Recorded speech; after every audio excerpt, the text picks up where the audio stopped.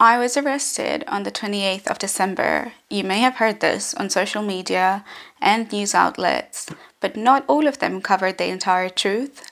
Not previously was I able to mention and say a lot of what had happened to me. And obviously, a lot of Islamist trolls, along with other Tanzanian trolls, decided to make up false lies about my arrest. I was convicted with no charges, was never taken to court. I have nothing on my file, and my Australian passport was stolen by the Tanzanian authorities after they arrested me. This started in October and not in December. I flew to Tanzania in September for a family emergency. What was meant to be a three week trip ended up being six months long, and none of it was within my control. On the, on the last week of October, or sometime in between October, there was a Facebook group that alerts people about Dar crimes. So Dar es Salaam is the capital city, and crimes or any anything warning the general public about any crimes. Someone from the community. Now I had already received a lot of threats from the community explicitly shown explicitly shown to journalists and posted on Facebook. But I had received a specific comment when I wasn't even in the group, and people sent me screenshots of it saying that, you know, I'll put I'll put the comment on it. But the idea was to basically frame me and put me in prison because of my anti-religious views. And while Tanzania is a secular country and there were no laws that I was breaking, that was still considered a threat and was taken down. Luckily, I had a screenshot of it. And immediately a week later, I contacted the Australian consulate, sent them the screenshots, and asked them, What should I do if this actually comes in play? Their response was, Well, we can't get involved, but let us know. Why don't you go to the authorities, the Tanzanian authorities, and tell them? And I'm like, So you want me to tell them that they're planning to frame me for being against the government based on my religious views? And that made no sense at all. They were not helpful. So I continued to do what I was doing in Tanzania, which was working from home, being with my family. It was the first time in 12 years that I had actually visited them for over a month. I usually go there for a week in a few years, and it's always during work, but because we had the ability for working from home, that was a possibility. Um, and then a month and a half later, so early December, this is weeks before my arrest, I get a message from the police. At that time, I didn't know it was the police. I just get a phone call on my local Tanzanian number saying, "Hello, is this Zara?" And I'm and I answer and I'm like, "Hello, yes. Like, who is this?" And he speaks to me in Swahili, and I try responding saying, "I'm busy. I'll call you back later because my Swahili isn't that great." And that was that was when I texted him on WhatsApp using my local number asking where he got my number from. Now, I was working with a lot of orphanages, so it could have been a possibility that it was given out that way. But I had never heard of his name. I don't remember anyone. And he's like, It's Jackson. And I'm like, Can you send me a selfie? Because I don't know if I've ever given you my number. He's like, Oh, yeah, you gave it to me last week. And I'm like, I was at home last week. I never gave you my number. So it sends me a photo and I'm like, no, I'm sorry, I don't recognize you and you're harassing me. And he's like, oh, just meet me once and I'll change your mind. And he kept pursuing me. Um, and I just blocked him. And his last message was, we will meet again. And, or, or I will see you again. Um, and that made no sense to me. It was creepy. So evidently, I went to my brother and told him, do you recognize this number? He's been harassing me. And his last message was really creepy. So my brother calls him from his phone, and a woman picks up. And the woman is like, Oh, you know, this is happy. And my brother's like, Who is Jackson? And she's like, Oh, that's my brother. And he's like, Can you tell Jackson not to harass my sister?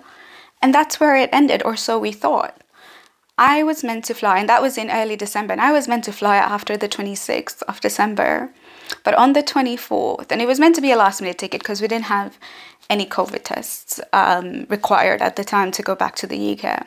And tickets were quite cheap because it was during Christmas time and everything was um, every, and everything was um, cheaper. But after like after that phone call and three weeks later or two weeks later on the 24th my brother receives a call from the cyber crime unit and this is a day before christmas right? And they're like hey there's a complaint about you. You need to come to the police station. And my brother is like what is this about? And they're like oh we can't tell you over the phone. You have to come to the police station. My brother insists on a written summon delivered to him and then he'll attend. They call him on the 25th during christmas day and they're like, "We have the written summon, but you have to come pick it up to the police at the police station." And we call a general lawyer who has worked with us before. None, none of that kind of a civil case. It was just business law or something. We call him and we're like, "What do we do?" And the lawyer's like, "You know, it's a public holiday, so they can't insist on it. And if nobody's dying, I will tell them my client will attend on a Monday." So the 28th was a Monday. I go with my brother. I'm in the car, so they don't know I had I was actually around the area. But my brother goes in with the lawyer, and then five, seven minutes later, he calls me and he's like, Zara, this is about you and your Facebook post. Now, just a week before, or a few days before that incident, I had posted up a picture of two men kissing in front of the Muslim black box, the Kaaba evidently I was startled why they would even call him in and not me. Um, and it made no sense. So before I went in the police into the police station, I tweeted in because it was the obvious scenario that I was being arrested for something. As soon as I get in, they have no idea what my legal name is. They don't even know that I am not Tanzanian. And they ask for my national ID card. And I look at them puzzled and I'm like, what ID card? And they're like, your NIDA card, your Tanzanian NIDA card. And I'm like, I'm not Tanzanian. I am a tourist. And they're like, what? But your siblings are Tanzanians, your, bro- your brother's Tanzanian. And I'm like, yeah, but I am not. And you know, they were like, Where's your Australian passport? Like, where are you from? And I'm like, Australian. They're like, Where's your Australian passport? And I'm like, This wasn't about me. Why, like, why do I need to present a passport? And they're like, Well, this is about your social media post. And I'm like, Then why do you arrest my brother? So they didn't know my name, they didn't know where I was from. And then they were so confused and really threatened when I asked them what charges they were for and they showed me a post that I wrote about the president in May when I was in London. And I'm like, well, I wasn't in Tanzania at the time, so this doesn't really stand. And then they started yelling at me in Swahili, and I could understand, I can't speak. And they were threatening me, they were trying to intimidate me, and I knew I had no charges. I mean, if I had any charges, it should have been quite evidently and strong and not responded with threats my way. Um, I was taken to the interrogation room where I was in there for about six hours. So, not having eaten in the morning, having eaten the night before, was about 22 hours of no food, and I had water and the police officer Majuto. So Joseph was the one who arrested me, and Majuto was my investigating officer. When he had the form, the form had religion, and I was like, none. I'm an atheist. And he just looked at me. He's like, what? What is an atheist? And I'm like, I don't believe in a god. And he's like, but your family is Muslim. And I'm like, yes, and I am not. And he was so puzzled. Um, and in the time of my interrogation, he asked about my charity. So, because he's like, What do you do for work? And I'm like, I run a charity and I work for um, a technology company. And they are like, What does your charity do? What are its objectives? And I was like, Well, my charity helps women from honor based abuse, helps what mostly women who've left Islam. And he had to write all of that down. None of his fucking business, but he did it anyway. And then with Majuto specifically, while we were in the car, and, and I'll get to that, and during the whole interrogation period until my charges were dropped, he kept asking me questions like, Why did you leave Islam? And when I'd respond, he'd go, like, No, no, no, you're disturbing my mind. I shouldn't ever doubt God. Or, you know, you should come back to Islam. It's such a beautiful religion. And he would probe my siblings and ask them why I left Islam. none of that made any sense.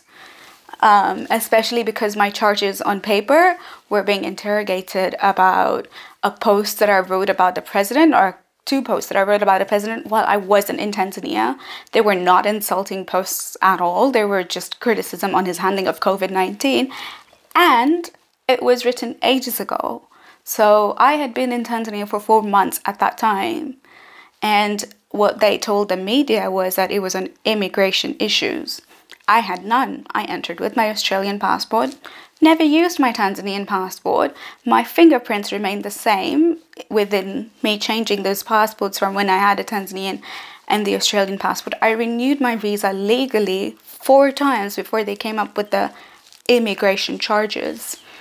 None of that stood in the law of court. There is no charge against you not surrendering your passport. It's only when you use it um, and you have another citizenship, which I never did. And going back to the interrogation room, as we went on, the police officer Majuto in like intentionally delayed the entire um, investigation. He would just be on his WhatsApp, laugh and send messages, and I'm like, "What are you doing? Can we finish this?" And he would delay it and delay it, and then they made me sign. And then I went like, "I'm ending this interrogation because I'm tired. I haven't had my pills. I have anxiety." And I, I, I want to go eat. And if there's nothing more, then I want to leave. And my lawyer suggested that we end it and we can continue the next day. I signed the statement. So they wrote the statement and made me sign it. And, you know, they asked about my background, what citizenship my parents had, as though we were foreigners when, you know, my probably my great grandfather was born in Tanzania. Like we've been there for generations. And that's, you know, that's the only information I know. Um, and you know i asked them to show me the law that says that i need to return my passport and they're like and they showed me the law on dual citizenship and i'm like yeah but this doesn't say anything about the passport being returned. You're not allowed to hold dual citizenship. But that as soon as you get a new citizenship your old tanzanian one is revoked and you know he just ignored my question. Um, and then after the interrogation i didn't know where i was being taken and i was just shoved in a car. And when I was in the car, they wouldn't turn on the air condition, they wouldn't turn on the windows, and it was like 30 something degrees. And it was really hot because it was about 5 or 6 p.m. at this time. And I just screamed that I'm getting a panic attack and they need to open the windows. And they did after I screamed, but I asked them multiple times before, multiple times before.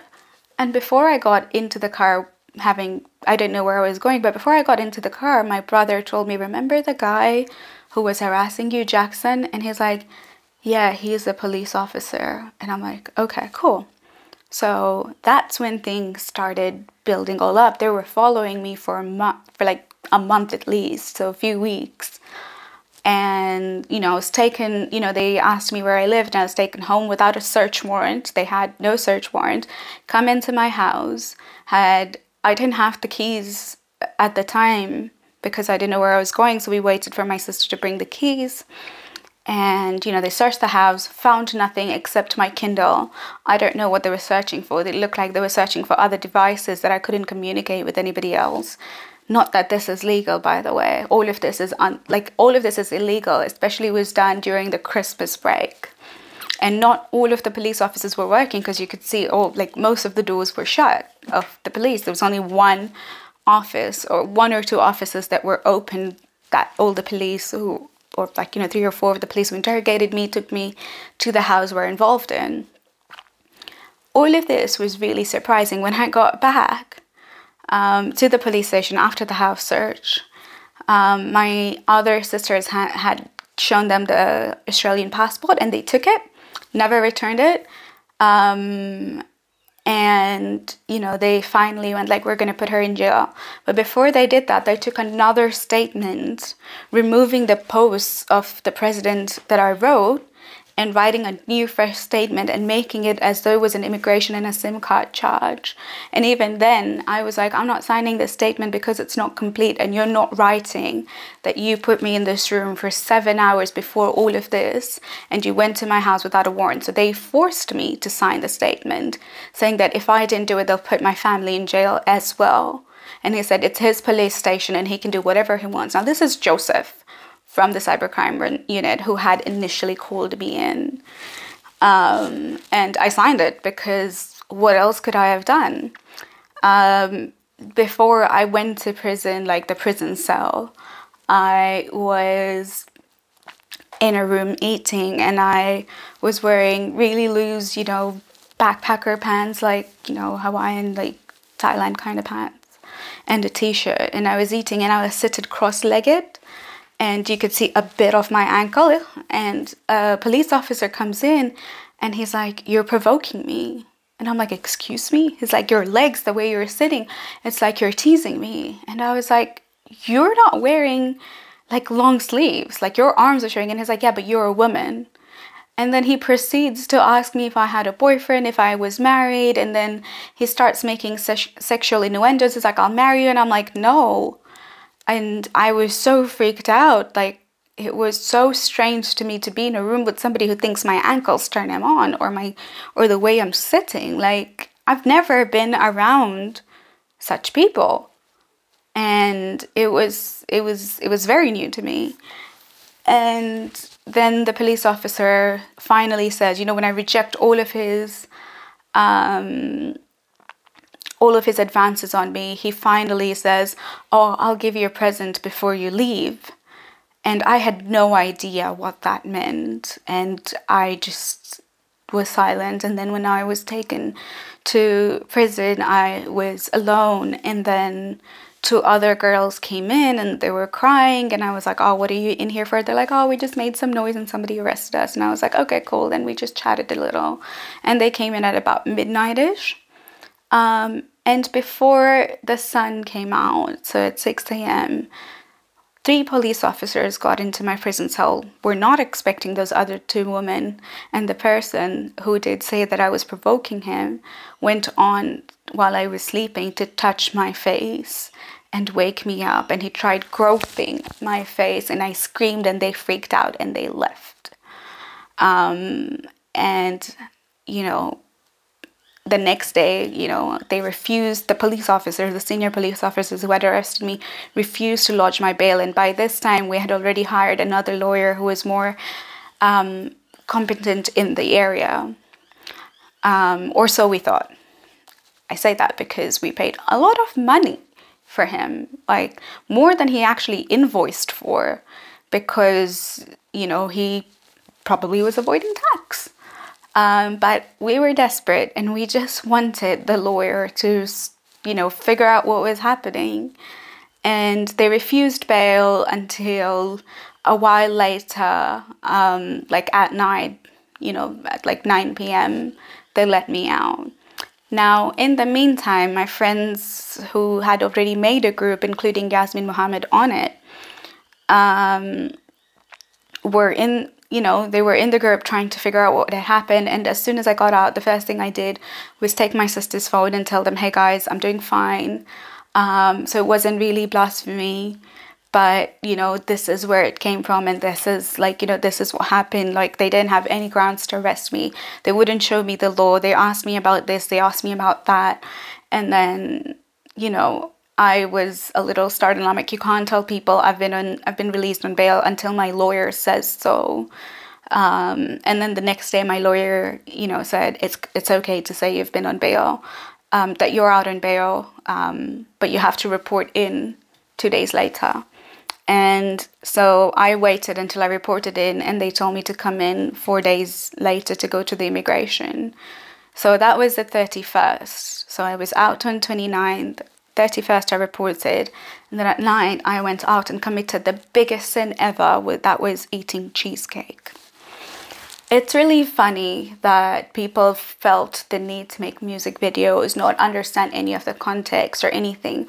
But what was really disappointing was somebody with such a high profile who handles vulnerable cases felt the need to pass on confidential information about a case out of context and basically try sabotaging my safety because of some personal issue that person may have had with me. And what is worse is that it was passed on to somebody who has clearly been so obsessed with me and has gone on to make 15 videos about me, sometimes naming me, sometimes not. But it's really obvious that in this whole time, you know, they did not care where I was. And they were like, oh my God, she used her sister's SIM card. She should be in jail they had no fucking idea how Tanzanian politics run. And if you're from Tanzania, there's something you should already know that my community is possibly one of the richest community and has so much influential political power that a lot of others don't and they're very capable of doing what they did to me and you would know this if you were living there. So it doesn't matter if they're 0.2% of the population, they're filthy rich. Everybody has connections anywhere they want. And it wasn't a surprise that, you know, I was released, not convicted of any charges, but my passport was stolen. The police declared it lost. Now, going back to the 31st, when I ate the cheesecake, which was very delicious, um, and, you know, spending time with my family, it helped us realize that the only way we can beat everything and everybody who's against us was by being together. So we made the most of my time. While I was still technically on bail, I wasn't free to go. I couldn't go out alone because there were people who wanted to behead me because I was in the news. I couldn't go to I couldn't I couldn't stay at home alone so there was always somebody at home and we installed cameras and everything to make sure that I was safe. I couldn't drive alone that you know I had to wait until a sibling picked me up. It had to be a family member who was watching after me. And when I told the Australian authorities about them, and I'm like, you know, I've told you about this case, and you're taking such a long time to even respond or act anything on it. And their solution was, why didn't you finish it under the table? I don't know what that means, but that was not legal that they were trying to insinuate, and there was no way I was going to do it because not only does it endanger me, it endangers my family who live there. There was no way I would do anything illegal or encourage that, especially because when the news went out about me and the government claimed it was immigration, and that was even before I left the immigration office that they even leaked my personal details. It was it was scary because then my family was in trouble as well. But we were also receiving anonymous calls and threats. Somebody from the community saying, Oh, we need to take Zara out of Tanzania. She's not safe. I have backdoor ways. And I was like, No, there is no way I am going through any of that. We're paying tons of money to this lawyer who's meant to finish the case and assured us that there were no charges and that you know, the, there were no grounds to arrest given that he knows the law. But after week two, so this is after New Year's, when I went to immigration was threatened by the immigration, I came home and two days later my lawyer tells me my passport is stolen, my Australian passport. And I asked him to let the Australian consulate know that this is what he has heard. He failed to do that because I think it was around the same time that the police had told him that they were paid a bribe to get my passport stolen. And this was information they didn't want me to relate to the public because it endangers me even more. Although I did email the Australian consulate as soon as I found out that my passport was lost. And their recommendation was as soon as my charges were dropped and that I have a lost report, that they'll send me a new passport and that, you know, they've sent me the form and the documents and what, what I need and everything. And um, my lawyers not only competency, but his loyalty was also questioned, given that after he knew all that information, he failed to act on behalf of me by demanding to see that passport from the police, by asking for the charges, by pushing this case forward, by even talking to the Australian consulate about my case. So his his loyalty was indeed indeed indeed sorry. His loyalty was indeed questionable. I don't know what else had gone to it but i'll leave that up to the viewers. Um, the only person i could trust at that point given that there were friends and people from the community who were trying to get more information because they knew that we knew this was on a bribe it made no sense. And we had actually police officers who were with me on that first day who arrested me admit to taking a bribe from somebody from the community and other sources course, I can't name them for legal reasons, and you know, you don't have to take my word for, for it, but the Tanzanian government did not persecute me. The file went up to the highest level, the, the director of public prosecutor. This is a guy who handles terrorist cases as well, so any high profile case goes up to him. It came back with no grounds to arrest, and I had no charges, and I was issued a lost report. And all of this happened when my brother went to the police station and told them that if I didn't if I didn't get a lost report or an end to the judgment because it's been 6 weeks that you know 6 weeks since my arrest that I would start talking to the journalists and tell them everything and how they threatened me, how they intimidated me, how they threatened my family, and how in immigration I was told that if I spoke about it, they would hurt my dad. But I'm still taking this risk to tell my truth and hopefully, we've had enough measures and the change of government to have ever let any of this happen again to us. Anyway, but now that we know my lawyer wasn't really being helpful, my brother had so had I think every single day went to the police office just to have a meeting with um, the the the the deputy regional officer, a woman. And every time I had to go to report in, I was met with sexist comment from men in power asking me if I was married and they would marry me because I need an African man in my life. And that is abusive and harassment. And I went and I complained about the sexual harassment in jail to the deputy of regional officer DCO, so commissioner officer or something, Shamila. And I told her, and I'm like, do you know what it feels like? Like you're a woman, and do your colleagues come and tell you that you need an African man in your life? Well, because I get that every time I come into this police station. I was sexually assaulted in jail with this guy making so many innuendos, and I complained and I did file it. And I told them how scared I was to come back to the police station and they made me do it anyway. And they held on to my case anyway. And they knew I knew that they lost their passport and I put it out there and they felt more threatened. And I'm like well I've already told the Australian consulate that you've lost my passport. Anyway six weeks later, when my brother did push for an outcome and we finally got the lost report and my charges were dropped, the Australian consulate failed to give me my passport because the news had gone so high up. And my lawyer had even sent them an affidavit saying that my charges have been dropped and it should be that it should be noted that I'm in danger in Tanzania, especially now that my charges have been dropped and I've received a lot of threats. The Australian consulate still failed, and it was until I got three additional lawyers from Doughty Street who were amazing, by the way. The moment they had a meeting with the Mer- with Marise Payne's office, DFAT, two hours later is when I got my passport printed and sent to me.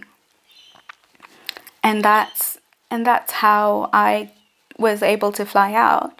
However, while the passport was sent to me on the 21st, this caused me the loss of job in the UK because my visa expired on the 18th, but my charges were dropped on the 16th, so I could have still made it in the UK. Got a visa transfer, but I couldn't do that because Australia ignored a lot of what they had said. They wanted evidence that the charges were dropped, and I provided them with everything. But they wanted Ministry of Foreign Affairs of Tanzania to go like, oh, we arrested one of your citizens. She had no charges, so we're letting her go because we can't take her to court. So I hope it's okay. Um, and that was a stupid thing that they actually even wanted as part of a response from the government. It would have never happened. And my lawyer sent them an email saying that's never going to happen. You're never going to hear back about her case. And that you have to protect your citizen and that it is not on you to decide whether or not she deserves her passport. She is your citizen. So I got a passport, booked my flight. I was denied flight. I was denied getting past immigration because the police who dropped my case didn't do their due diligence by erasing my name on the no-fly list. Now I was arrested on the 28th. The news in Australia came out on the 3rd of January, which was the second in Tanzania, and then they saw it in the early of the 3rd despite me being arrested on the 28th and them losing my passport before the 3rd, I was put on a no fly list on the 3rd. So, not when I was arrested, but only when the media went live in Australia talking about my arrest as an activist and why I was arrested. Anyway, I couldn't make that flight. My brother also couldn't make it. My brother bought an additional flight to make sure that I got out of there safe. We lost all that flight, we lost all that money, and we bought another flight. Um, and during that time, my brother went to the immigration to make sure that the police had actually cleared my name. And fortunately, two hours before we were heading to the airport, they updated their systems and I was finally able to fly. But the first flight, I was detained again and they wanted to take my new passport away from me, to which my brother said that passport is not going out of sight and I have a right to contest it the police officer there, and I have a video for this, I won't be uploading it, but the police officer there in Swahili says, Who do you think you are? This is protocol, we need to take the passport. I can do whatever I want. I'm going to arrest you and your family because you can't talk to me like that. Only because my brother said this passport is not going out of sight. So whatever you do, you need to do it here. If you're making a call, you make a call here. Or you leave the passport with me. And then in the end, when my brother did fight, we finally, like, did put up a fight. They didn't fight, but did put up a fight. We finally got the passport, the new passport at this time because they stole my first one. Um, and I was able to leave. I mean, my brother played a really big part in helping me talk to the authorities because not only did my lawyer fail, but the community had paid so much money to go through all the trouble and embarrassing the Tanzanian government and how do I know it was the community? Well, we had three different sources confess it to us and tell us. I got to Australia and I was told the exact person who did this to me, who's in the leadership board of the community. And this is something they need to figure out because I'm done. I will still criticize and I'll still continue doing what I do. And the best form of justice for me is to go on with my life, continue kicking ass, and continue saying my truth. And they can figure out who did this and why because according to me, I've done my due diligence and informed intelligence agencies about them. And that's the best I can do. And as for you guys, you can either take my word for how I was arrested and what had actually happened, or you can go back and look at all the cheesecake videos because oh my god, why would Zara eat cheesecake videos? They're so jealous because cheesecake is amazing. Um, but this was the entire story, and it sounds like a 007. And at this point, now that I've settled down, I can't imagine anybody having to go through with that having nobody to trust except your family, and even there, not even then, not having a justice system that would give you any correct information. Like they were, all of them were purely just driven by money. And that was the sad part. That's the Tanzania we live in. And if you check the recent news in Tanzania, a lot of the activists who were jailed previously are now being let out with no reason because there was no reason for their arrest only because the previous president wanted it, it could have happened. And that's what my community played on. Because they think that the previous president would be so offended over me saying that he failed during the handling of COVID 19. And I wasn't in Tanzania, by the way. Um, so now they would arrest any foreigners who don't agree with them. That sounds absurd. But we have a change of government, which is a little hopeful, even though it's not completely even though it's not completely what everybody else would have accepted for many different reasons, but it is hope for change. And this is it, and this was my story. Um, I expect you to put in the comments below what your favorite cheese cheesecake is. Um, and for many different reasons, I won't be answering any questions about this because I've put the entire truth out there. I have filled up the timeline. I have mentioned every incident and how even other ex Muslims couldn't even see beyond their bubble because they grew up in the West and have no idea about Tanzanian politics. And it was a Tanzanian activist who supported me during this because they knew exactly what was happening and they knew exactly how this would play out. And if you actually want to verify facts, go to them and chat to them and ask them what Tanzania is like and how money rules a lot of this and politics is corrupt. Like the Tanzanian authorities are corrupt and that's changing, which is a great thing. But no, go go go watch the cheesecake video to see how absurd their theories are and how much time they put into my personal life to make videos because oh my god, cheesecake. That's it for now. Thank you.